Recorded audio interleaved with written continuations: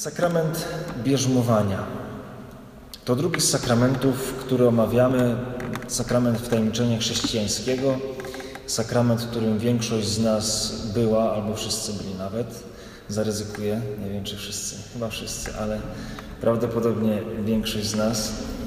W, koś- w katechizmie Kościoła katolickiego możemy przeczytać E, coś takiego. Przez sakrament bierzmowania ochrzczeni jeszcze ściślej wiążą się z Kościołem, otrzymują szczególną moc Ducha Świętego i w ten sposób jeszcze mocniej zobowiązani są jako prawdziwi świadkowie Chrystusa do szerzenia wiary słowem i uczynkiem oraz do jej bronienia.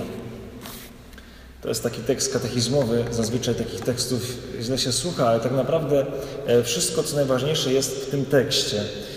E, żeby mówić o sakramencie bierzmowania, to trzeba sobie uświadomić pewną chrześcijańską drogę, umieć go oddzielić też od Chrztu Świętego. Będę mówił o skutkach sakramentu bierzmowania na końcu, no to czasem jest to bardzo trudne. Wielu ludzi ma problem mm, z tymi skutkami, znaczy co, co właściwie jest więcej, co jest inaczej. Mm, wiemy, że możemy sakrament bierzmowania też przyjmować razem z Chrztem Świętym i Eucharystią. Jeżeli osoba dorosła przygotowuje się do przyjęcia chrztu, to będzie wszystkie te trzy sakramenty wtajemniczenia przyjmować od razu. Natomiast w tradycji naszego Kościoła, ponieważ jesteśmy chrzczeni jako dzieci, e, mamy to rozciągnięte w czasie. Całe wtajemniczenie chrześcijańskie, bardzo piękne słowo, wchodzimy w pewną tajemnicę, to jest rozciągnięte w czasie. Te trzy sakramenty jest y, sakrament chrztu zaraz na początku, Zaczynamy swoją drogę, przygodę z wiarą.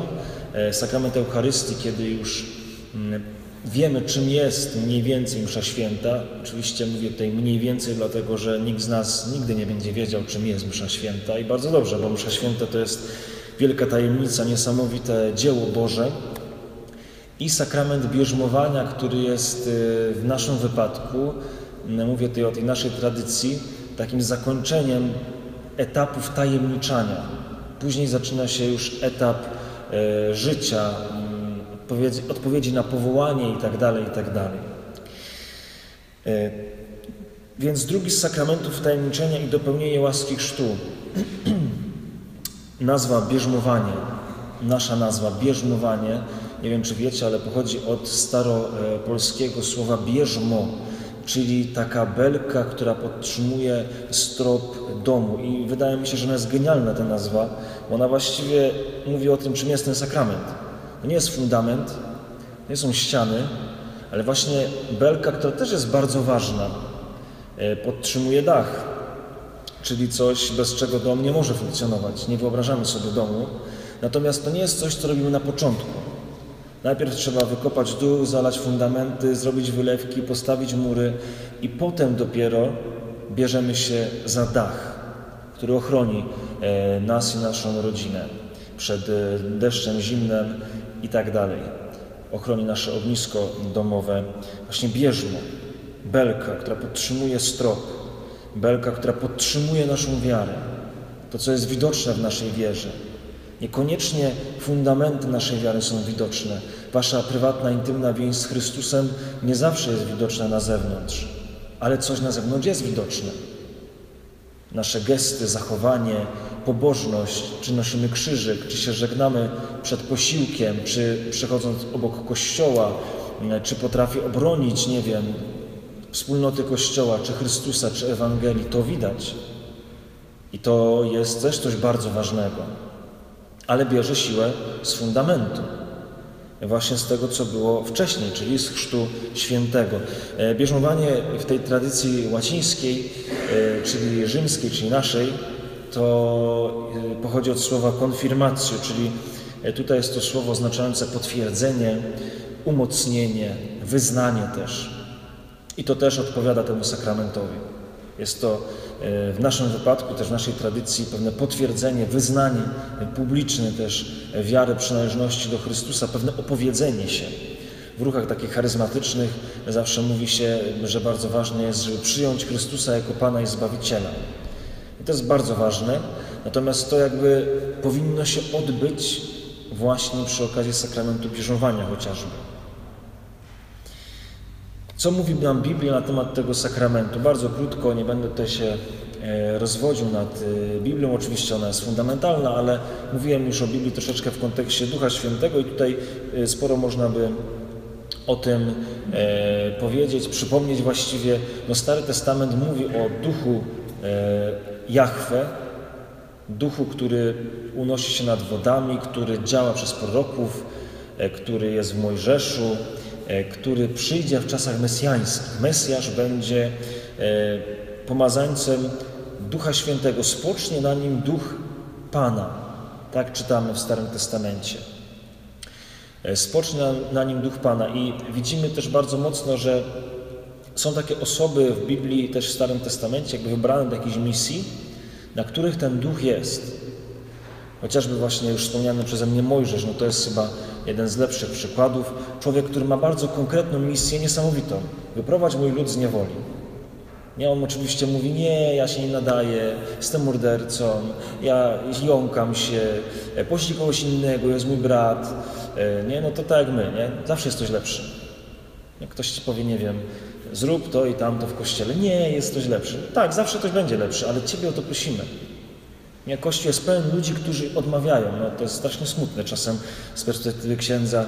To może takie, e, no ale to też trzeba czasem może powiedzieć, że no jest to smutne, nie? że się prosi kogoś o pomoc, a to osoba, wiecie, nie? Niby jest pokorna, bo ja się nie nadaję, mam taki charakter, bo nie potrafię rozmawiać z ludźmi, nie wiem, nie wezmę tam czegoś, nie? grupy czy pielgrzymki, czy yy, nie przeczytam nic. No, Tutaj nie chcę oceniać, bo każdy przypadek jest, przypadek jest indywidualny, ale no Mojżesz takim osobą był. Na pewno się nie nadawał. Na pewno człowiek, który zamordował Egipcjanina, wraca do Egiptu i mówi, nie dość, że nie mówi, że przepraszam, że zabiję Egipcjanina, to jeszcze mówi, wyprowadzę e, wszystkich Izraelitów z niewoli. To, nie? Fajny, powiedzielibyśmy po ludzku, to fajny palant, nie? No to przychodzi tam, gdzie go ścigają, nie? List gończy, wiecie, łątet, nie? Jak na tych filmach, poszukiwany Mojżesz za zabójstwo, i on przychodzi do tego miejsca i nie dość, że się nie przyznaje do winy, nie dość, że nie przeprasza, to jeszcze ma czelność powiedzieć faraonowi, który jest władcą absolutnym i ma się za Boga, że ma wypuścić Izraelitów, którzy są jego niewolnikami. No to jest niezwykłe, e, ale myślę, że to jest dla każdego z nas ta droga. Ja też na przykład dzisiaj się nie nadaję do tego, żeby powiedzieć konferencję. Powinienem iść w ogóle i z nikim nie rozmawiać, bo kogoś zabiję za chwilę, ale ale tak, ale przyszedłem i staram się to zrobić jak najlepiej. Nie śmiej się. Czy Marek się śmieje ze mnie. E, no są takie dni w życiu, nie? No, też takie pewnie macie. E, I Duch Święty prowadził Mojżesza. Spoczął na nim. I jest niesamowita taka scena, bardzo piękna, kiedy już Mojżesz ma dosyć po prostu, już mówi, no nie, nie jest w stanie udźwignąć całego tego ludu. Wszystkie sprawy przez niego przechodzą, wszystko. Bóg, który mówi, jak się pokłócą o baranka, to do Niego przychodzą, jak się pytają, gdzie mają iść, to do Niego przychodzą, jak im braknie wody, to do Niego przychodzą, jak nie mają przepiórek, jak mają ich za dużo, do Niego przychodzą, jak za mało, to do Niego przychodzą. I Mojżesz ma po prostu dość i mówi, Boże, pomóż. I Bóg mówi, wybierz sobie e, starszych mężczyzn, mądrych, doświadczonych, ja wezmę z Twojego ducha i im dam. Nie jest taka scena, taka dosyć w sumie tajemnicza, ale oni wpadają, 40 chłopów wpada w uniesienie prorockie, nie? nie wiadomo co oni robili, może się w jakichś językach modlili albo jakoś tam szaleli, no nie wiadomo. W każdym razie wpadają w uniesienie prorockie, bo mm, Bóg przekazuje im ducha Mojżesza. Jeden wpada w obozie, bo był zaproszony, a nie przyszedł. I jest to dziwne dla innych ludzi w obozie. I przychodzi Jozue i mówi, który tego nie wiedział, zabroń im. Nie? To też jest ciekawe. Zazdrosny jest o Mojżesza. Zabroń im, niech oni nie będą tak wspaniali jak Ty. Nie? To też jest dla nas, myślę, wierzących taka ważna lekcja. Nie? No, to nie chodzi o to, że ja jestem wspaniały, teraz jestem niesamowitą gwiazdą i, i w ogóle, tylko po prostu to Duch Święty, nie? który może zostać przekazany też komuś innemu, który, jeżeli Pan Bóg też komuś innemu daje, to nie znaczy, że mi zabiera. Nie? To nie znaczy, że teraz ja będę mieć mniej i ktoś inny jest wspaniały i teraz ja nie. Co zrobić? Zazdrość po prostu straszna. Yy, najlepiej, gdyby mu przeciąć kawę od mikrofonu, żeby skończył kazanie, nie? To jest ksiądz. Żeby mi nie było że, yy, smutno, że on mówi na przykład lepiej niż ja, nie? No, to byłoby to absurdalne, ale E, tutaj widzimy działanie Ducha Świętego. Jest misja, jest Duch Święty. Do czegoś bardzo konkretnego też Duch Święty zostaje dany. Zostaje dany Dawidowi, zostaje dany Salomonowi, Samuelowi, no innym prorokom, e, ale przepraszam, prorocy mówią, że będzie w pełni dany Mesjaszowi. To Mesjasz przyniesie Ducha Świętego. I Duch Pański spoczywa na mnie, ponieważ mnie namaścił, nie? Myślę, że znamy te teksty. Właśnie one są o Mesjaszu. I zaczyna się Nowy Testament i Jezus zapowiada przyjście Ducha Świętego. Mówi to wielokrotnie, bardzo wyraźnie. Przyjdzie pocieszyciel, obrońca, duch, który wam wszystko przypomni. I apostołowie mają pewną misję. Nie słyszymy właściwie o chrzcie apostołów. Nie wiem, jak byli chrzczeni apostołowie. Być może Jezus ich jakoś ochrzcił, a może nie, no nie wiem, w takim sensie sakramentalnym, tak? Ale słyszymy o zesłaniu Ducha Świętego, które my utożsamiamy z sakramentem bierzmowania. To jest mm, tekst, który jakby wprost mówi o tym, do czego jest potrzebny sakrament bierzmowania. Apostołowie byli tacy jak Mojżesz, dokładnie. Znaczy, no mieli inne życie, oczywiście inne imiona, ale ten sam typ człowieka, nie? No to się powtarza, tak jak my tutaj. Każdy ma różne umiejętności, teraz oni, rybacy, jakiś celnik, który zrobił swój hajs, majątek i tak dalej na biednych Izraelitach, na nich się dorobił. E, jakiś e, chłopak, święty Jan, nie? Chłopak, którym się nikt za bardzo nie liczył. Mm taka, taki wtręt. Ostatnio mi dziewczyny w gimnazjum powiedziały, że na ostatniej wieczerze na Giszowcu jest dziewczyna, kobieta jest, nie? Ja mówię, gdzie jest ta kobieta? No koło Jezusa, Maria Magdalena siedzi. Nie? No to oczywiście nie jest Maria Magdalena, tylko święty Jan, który jedyny nie ma tam brody, ponieważ święty Jan był młodziutki, e, był młodym człowiekiem, takim uczniem naprawdę, ta nazwa najbardziej na niego pasowała. E, ale właśnie on był też najwierniejszy, to jest ciekawe, najodważniejszy albo najgłupszy, nie wiadomo, nie? To czasem jest jedno i drugie, że on został pod krzyżem, on był z Jezusem zawsze, on mu wierzył do końca, ślepo, jak już wszyscy powiedzieli, nie, z Panem Bogiem, my się tutaj kryjemy, święty Piotr gdzieś tam, nie, nie wiadomo, może w jeziorze pływał wtedy, żeby go nie znalazł, nie wiem, a święty Jan pod tym krzyżem stoi, e, nie, razem z Maryją, z innymi kobietami, no to, to daje do myślenia. Więc była tam taka, taka mieszanina ludzi, powiedzielibyśmy to ciekawych, natomiast ich predyspozycje, ich talenty nie wskazywałyby na to, że będą to głosiciele, że to będą jacyś mówcy, speakerzy, nie wiadomo kto, wtedy się, wtedy się mówiło retorzy, tak? No nie mieli żadnego wykształcenia, mm, niektórzy umieli język grecki, inni go nie umieli, e, więc y, no właśnie, nie? I teraz Jezus im mówi, idźcie na cały świat. Nie, nie mówi idźcie do Żydów. To już byłoby ciężkie, bo Żydzi w ogóle ich też mieli w poważaniu i właściwie to chcieli ich też pozabijać, no bo, e, bo byli uczniami Chrystusa. Ale Jezus nie mówi im idźcie do Żydów i im to tłumaczcie na podstawie Starego Testamentu, to jest wszystko napisane, weźcie im Stary Testament, nie, twórzcie, poczytajcie, nie, i oni, a no tak, jak im to wyjaśnimy, to będzie grało, nie. Oczywiście, że Żydów też trzeba było nawrócić, ale Jezus mówi idźcie na cały świat i nauczajcie wszystkie narody. Wszystkie narody. I apostołowie oczywiście co zrobili? No zamknęli się w wieczorniku, nie? No typowe właśnie, to tak my czasem, jak ktoś nas coś poprosi w kościele, no to trz. Nie, no zamknęli się w wieczorniku, klucz i no bezpiecznie, jest bezpiecznie, nie? W miarę oczywiście, dopóki by ktoś nie przyszedł i ich tam stamtąd e, nie wyrzucił.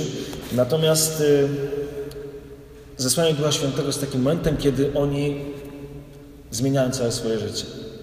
To jest dla mnie naprawdę dowód na istnienie Boga, taki mój prywatny, że tacy ludzie akurat założyli Kościół i on się do dzisiaj y, trzyma. Nie? Kupy. Tak a propos żartów ostatniej konferencji.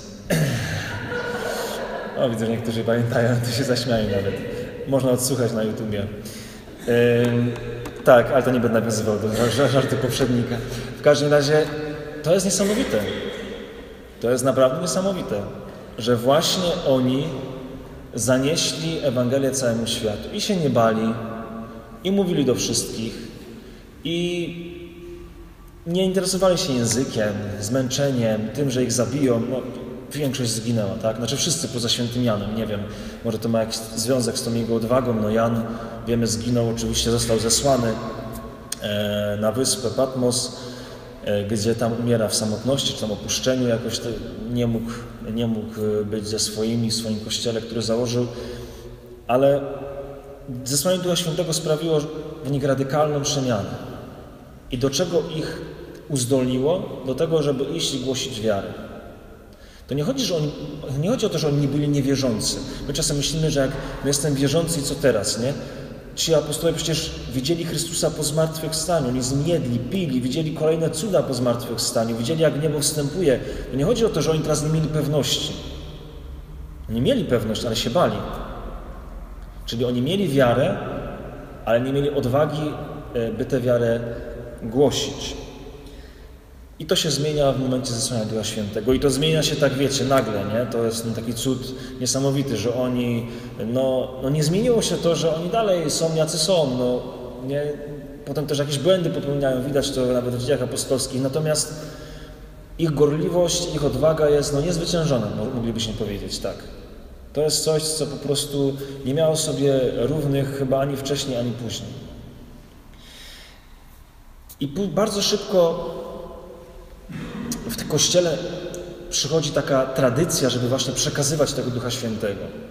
Już zresztą e, w Nowym Testamencie widzimy, że Piotr na przykład naucza i poganie wpadają właśnie w takie uniesienie prorockie, trochę tak analogicznie do Starego Testamentu, bardzo podobny jest ten opis. Mówią językami, znowu to jest znowu podobne do mm, zesłania Ducha Świętego.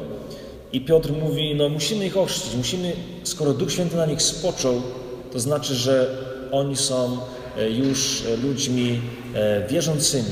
To znaczy, że oni już mogą też wyznawać wiarę w Jezusa e, Chrystusa.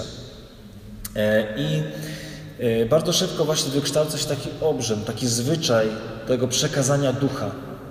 Tak jak zaczyna się przekazywanie urzędu apostolskiego, bo święty Paweł zostawia ucznia czy tam jakiegoś innego starszego w gminie i nakłada na niego ręce i zaczyna się sakrament święceń, który trwa aż do dnia dzisiejszego.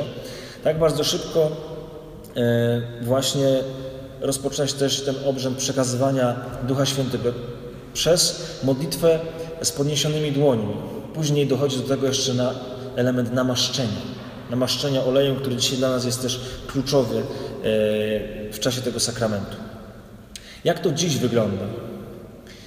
Mieliście to wiecie, to teraz musiałem odpytać. Tak, niektórzy tam młodsi to mieli niedawno, to tam niektórzy może jeszcze ten olej jest świeży tam na czole, to można by zapytać. E, ale jak to dziś wygląda? No, przede wszystkim szafarz sakramentu bierzmowania. No to w naszym kościele, mówię teraz o kościele łacińskim, zachodnim, jest to biskup lub kapłan, którego biskup deleguje. Dlaczego jest to biskup? E, dlatego, że przyjęto taką myśl, taką zasadę, żeby mieć, nawiązać jakkolwiek kontakt, relację właśnie ze swoim biskupem, czyli z tym, który jest odpowiedzialny za cały kościół lokalny, czyli na przykład tutaj nasz kościół katowicki. E, no w dzisiejszych czasach jest to, myślę, bardzo ważne. Naprawdę nie wiem na ile wy to przeżywacie, ale no, ludzie mają bardzo nikły związek z biskupem, nie taki kontakt no, proboszcza, wikarego, nie, no to tam się gdzieś, jak ktoś jeszcze do kościoła chodzi, zagląda, no to wie jak wygląda, zna, może nawet z nim porozmawiał, super. Jeszcze na kolędzie się zdarzyć, okej. Okay. Natomiast biskup jest gdzieś tam, no tu w Katowicach to mamy blisko, ale wierzcie mi, że jak ktoś jest, nie wiem, z Podrybnika, czy Wodzisławia, czy z podgranicy, no to w ogóle biskup to jest taka postać, którą, no, no, no wie, że ktoś taki jest, nie? No właśnie, i widzi go kiedy? Na wizytacji, która jest raz na 5 czy 10 lat, czy tam ileś jak wypadnie, albo na bierzmowaniu właśnie, jak już przyjedzie. Żeby mieć ten związek z, z nim, on powinien go udzielać. Oczywiście biskupów też nie ma aż tak wielu, nas jest wielu w diecezji, więc e, czasem to komuś zleca. Natomiast biskupi bardzo się starają bierzmować i faktycznie to robią. Mają tych bierzmowań bardzo, bardzo dużo e, i wiem, że też im bardzo zależy, żeby na nich bywać. To nie jest tam jakaś wazelina, tylko jako ksiądz też się z tym spotkałem, że zasadniczo biskupi bierzmują. E, rok temu u nas był biskup Marek, w tym roku najprawdopodobniej będzie arcybiskup Wiktor Skworc, więc No tak jest, tak? Oni chcą też bierzmować, chcą mieć jakiś tam kontakt, chcą, żeby ich też młodzi ludzie zobaczyli, żeby wiedzieli, że ktoś taki jest. To jest następca apostoła. Ja przypomnę to, co powiedziałem, przekazany ten urząd święcy. Nie poprzednikowi przekazał poprzednik i tak dalej, i tak dalej, aż do apostoła. Te nałożenie rąk, więc jest to ktoś dla nas ważny. On go udziela. Jak go udziela? Oczywiście najpierw prosi o zesłanie Ducha Świętego. Jest taka specjalna, uroczysta modlitwa, którą biskup odmawia z podniesionymi rękoma, a później e, następuje namaszczenie olejem. Ten olej jest święcony w Wielki Czwartek, także przez biskupa. Ten olej mm, to znak wybrania. Kogo namaszczano? Właśnie w Starym Testamencie namaszczano ludzi, którzy mają misję. Namaszczano królów, namaszczano proroków, namaszczano sędziów. E, Mesjasz, Chrystus, to znaczy pomazaniec Boże, wybraniec, namaszczony, czyli ten, który ma wszystko to, żeby tę misję wykonać, spełnić. I ciągle wracam do tego, czym jest sakrament bierzmowania. Sobie na czas właśnie. E, tak, czyli mamy wszystko to, żeby pewną misję spełnić. Namaszczenie to jest pieczęć Ducha Świętego. Należymy do Niego. Taki podpis Ducha Świętego, moglibyśmy powiedzieć, na, nad, naszymi, nad naszym życiem. E, biskup prosi e, o wylanie ducha i przekazuje nam przez namaszczenie. A później następuje znak pokoju, czyli taki znak właśnie tej więzi z biskupem. I teraz kończąc, jakie ma skutki, jaki jest cel, sens udzielenia tego sakramentu? Oczywiście ma pewne elementy, które nawiązują do Chrztu Świętego. Zakorzenia nas głębiej w Bożym synostwie. No ale jesteśmy dziećmi Bożymi, okej, okay. jesteśmy teraz bardziej dziećmi Bożymi, tak? Tak, tak, tak to rozumiem. Ściśle jednoczy nas z Chrystusem, tak, jesteśmy bliżej Chrystusa. Jesteśmy też dojrzalsi niż w czasie chrztu. Powinniśmy być bliżej Chrystusa. A ten sakrament e, jest takim przypieczętowaniem tego. Pomnaża w nas dary Ducha Świętego, i to jest właśnie to, do czego się odwoływałem, e, ten dom, nie? Jest fundament, to wychodzi wszystko teraz z nas i jeszcze się to musi o wiele bardziej rozwinąć. Może kolejne piętra będą. Chrzest już, ma, chrzest już oczywiście jest fundamentem, ale teraz mamy kolejną rzecz, bierzmowanie, które nas wnosi, wynosi do góry. Udoskonala naszą więź z Kościołem. Tak powinno być. Tak powinno być, moi drodzy, to jest dzisiaj problem, wydaje mi się. Tak na to patrzę, że e, nie mamy takiego poczucia kościelności, tego, że kochamy Kościół, że to jest coś wspaniałego. Jak są Światowe Dni Młodzieży, to ludzie mówią, Kościół jest wspaniały. Ale jak się kończą, no to wiadomo, nie? Kasa, pedofilia, nie wiem, jakieś tam inne rzeczy. Powinniśmy w sobie mieć taką miłość do Kościoła. Oczywiście wiem, że mówię to do ludzi, którzy najprawdopodobniej ją mają i bardzo, bardzo wielką, więc jakby mam tę świadomość, ale chcę, żebyście też tak na to spojrzeli, nie? że to jest taki sakrament, który powinien gdzieś nas odesłać do tej całej wspólnoty, wspólnoty właśnie, nie? Nie instytucji, ale wspólnoty, żebyśmy się poczuli tą wspólnotą. I udziela nam, to jest chyba kluczowe w tym sakramencie, na co chciałem zwrócić uwagę, udziela nam specjalnej mocy ducha do szerzenia i obrony wiary, słowem i czynem, do mężnego wyznawania Chrystusa i do niewstydzenia się, i do niewstydzenia się krzyża, przepraszam. Czyli mam już wiarę, tak apostołowie mają wiarę, otrzymaliśmy ją na chrzcie świętym, rozwijam ją, uczę się modlitw, uczę się liturgii, mszy świętej, i teraz bierzmowanie jest sakramentem, który powinien mi uświadomić, teraz muszę tę wiarę głosić też. Nie wystarczy, że ja ją mam. I to jest taka misyjna, taka, taki, taki misyjny element e, chrześcijaństwa, tak, że ja po prostu mm, mam też głosić. I to jest w nas jakby przypisane do nas, no tak może powiem, że to nie wystarczy, że ktoś jest chrześcijaninem i jest chrześcijaninem. I tyle. Nie? To znaczy, nie wiem, mam w domu krzyżyk, modlę się, ale jak wyjdę na zewnątrz, no to nie, nie ma żadnych oznak religijności w moim życiu. Bo jest, nie wiem, świeckie państwo, dajmy na to, nie? No to jest niemożliwe. To w byciu chrześcijaninem zawiera się pewna misyjność. Nawet jak chrześcijanie byli prześladowani. Są dalej, zresztą może nawet bardziej niż kiedyś są chrześcijanie prześladowani, ale powiedzmy w tych czasach pierwszych, rzymskich, oni byli prześladowani, oni się spotykali potajemnie, ale spotykali się potajemnie na Eucharystii. To było dla wtajemniczonych właśnie. Ale głosili słowo wszystkim. Tłumaczyli łaski płynące ze zmartwychwstania wszystkim. Potrafili powiedzieć o Bogu jedynym wszystkim. I to jest nasze zdanie. To jest taka myśl jeszcze nie tak młodego właściwie, to on był jeszcze wtedy młody, Józefa Ratzingera, taka dosyć ostra mi powiedział, może niekoniecznie y, trzeba się z nią zgadzać, ale on właśnie mówił bardzo mocno, że sakramenty są tylko dla ludzi wierzących i wtajemniczonych. Nie? To jest u nas też taki problem e, w polskim kościele, myślę, że nie tylko polskim, ale u nas jest, że y, dużo ludzi przystępuje do sakramentu, na przykład bierzmowania, a na ile oni są wierzący, to już różnie, nie? E, oczywiście trudno to ocenić. Dla mnie zawsze jest takie ważne pragnienie sakramentu. Jak ktoś ma pragnienie, to już jest coś, nie? No nie wszystko, ale coś. Natomiast y, czasem jest tak, że ten sakrament, nie? Sakrament ślubu, no, znaczy sakrament małżeństwa, przepraszam, mm, też tak wygląda. No bo wszyscy biorą, nie? Bo jest ładna biała suknia, bo mama chciała, bo żona chciała, bo e, nie, dzieci chciały. Nie, to przesadziłem, ale e, nie? Więc taka świadomość sakramentu no nie za wielka. Nie? I w pierwotnym kościele raczej, ponieważ oni byli prześladowani, to wiadomo, że na mszę świętą nie wpuścili nikogo, kto ich tam wyrżnie i im jeszcze sprofanuje Najświętszy Sakrament, bo jesteśmy otwarci na wszystkich, bijcie nas, nie? E, no to też nie do końca o to chodzi w chrześcijaństwie.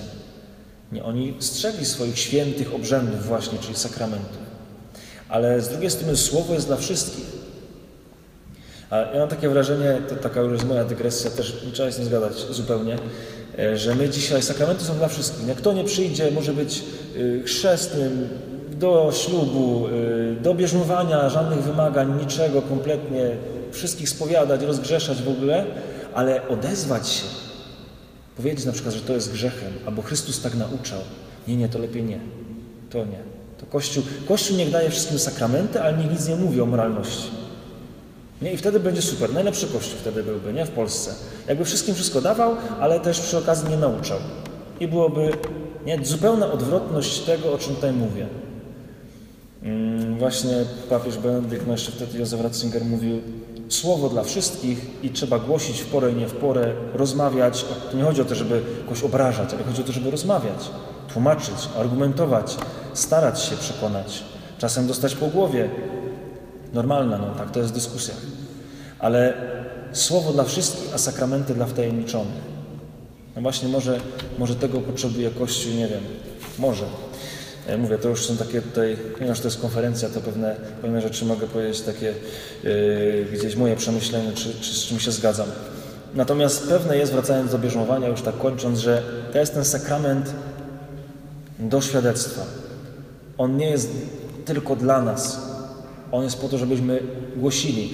Tutaj jeszcze raz to przeczytam, to jest e, z katechizmu, że udziela nam mocy ducha do szerzenia i obrony wiary, słowem, ale też i czynem, do mężnego wyznawania Chrystusa i do niewstydzenia się krzyża. To jest e, skutek sakramentu bierzmowania. Po to go przyjmujemy. Jeżeli go już masz, to to jest Twoje zdanie wynikające z tego sakramentu. I, no i nie tłumacz się, że nie, nie dasz rady. Nie tłumacz się, że masz za mało, nie wiem, doświadczenia, wiedzy, e, przygotowania, studiów, no nie wiem, że jesteś zbyt grzeszny, grzeszna, nie? To są podstawowe pokusy, przed którymi staje każdy, który ma głosić. Każdy. To jest bardzo, wiecie, to wynika z jakiejś naszej może skromności nawet, okej. Okay. Nie, ale jak rozmawiałem, już to kiedyś może mówiłem tutaj tej ambonie, ale jak rozmawialiśmy przed święceniami z kolegami jeszcze diakonatu, seminarium, to na rekolekcjach mieliśmy takie, potem takie podsumowanie i yy, mieliśmy bardzo podobne odczucia, że większość z nas, ta podstawowa pokusa to była taka, że ja się tego nie nadaję. Pięć lat, ale ja dalej się do tego nie nadaję. Ja dalej się czuję, że wiecie, no jestem chłopakiem, nie wiem, który wyjechał z Przowa, lubi grać gry komputerowe, podobają mu się dziewczyny, chciałby mieć lepszą komórkę, nie? Czyli takie poczucie, że no, niech Bóg znajdzie kogoś lepszego. Świętszego, mądrzejszego, poukładanego i tak dalej, i tak. I każdy może tak powiedzieć pewnie. I Mojżesz mógł tak powiedzieć. Na pewno mógł tak powiedzieć z jego życia. A jednak Bóg wybrał Mojżesza. A jednak Bóg wybrał Dawida, chłopaczka, który był e, ładny, ale nic poza tym. A jednak Bóg wybrał e, świętego Jana, który był młodziutki i w ogóle kto go słuchał. Młodzi ludzie w ogóle nie mieli prawa nauczać, a on miał iść głosić. A jednak Bóg wybrał Marię Magdalenę, prostytutkę, która była pierwszą, która świadczyła o Chrystusie. Pierwszą. A Żydzi mieli e, nawet obowiązek niesłuchania kobiet, bo one nie były wiążące w sądzie. A Ona była pierwszą, pierwszym świadkiem zmartwychwstania. I tak dalej, i tak dalej, i tak dalej. To Biblia jest pełna takich postaci, e, historia Kościoła jest pełna takich postaci i nasze życie może być pełne takich momentów. Tak ta konferencja dzisiaj dla mnie. Amen.